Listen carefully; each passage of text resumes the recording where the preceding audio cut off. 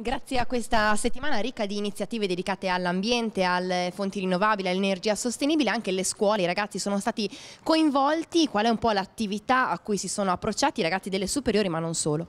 Dunque, naturalmente il nostro istituto, l'Istituto Tecnico Industriale Cappellini Sauro, è attivo da sempre nel territorio e a maggior ragione si è esposto in questo, queste iniziative che riguardano sostanzialmente la Smart City della città che persegue gli obiettivi dell'Europa 2020. Naturalmente Naturalmente noi siamo interessati anche a aspetti tecnologici, aspetti innovativi che accompagneranno questi cambiamenti, per cui ci siamo resi disponibili fin dall'inizio a dare un nostro contributo.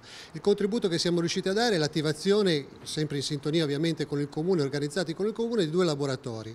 Uno che stiamo svolgendo con le scuole medie, sostanzialmente orientato a un'analisi delle energie alternative, un'analisi di tipo tecnico, scientifico, quindi dove i ragazzi delle medie con i ragazzi delle superiori sperimentano un po' le caratteristiche anche tecnologiche anche di queste nuove tecnologie. E poi abbiamo voluto fare un passaggio avanti un pochino più elevato questo caso riservate ai ragazzi delle scuole superiori per un approccio un po' all'economia circolare, che naturalmente è un paradigma nuovo che deve accompagnare proprio queste nuove evoluzioni, in particolare la simbiosi industriale che è eh, diciamo, l'applicazione di queste nuove metodologie proprio nell'ottica dell'industria. Uno degli argomenti, l'abbiamo detto, si tratta dell'economia circolare, un eh, laboratorio comunque importante, già di un livello comunque eh, sostanzioso per questi ragazzi. Com'è stata la mattinata e di che cosa diciamo, avete eh, discusso?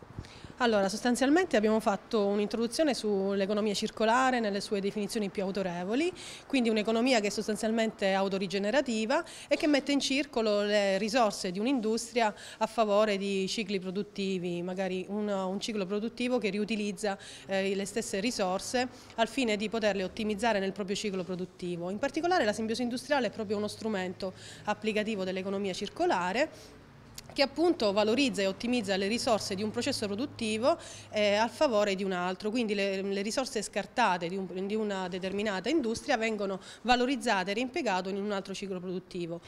Un'esperienza sicuramente importante e positiva perché avete modo di interfacciarvi comunque con una realtà. Sì, è stata un'esperienza molto interessante anche perché abbiamo visto un qualcosa di diverso rispetto alle semplici lezioni che facciamo normalmente a scuola.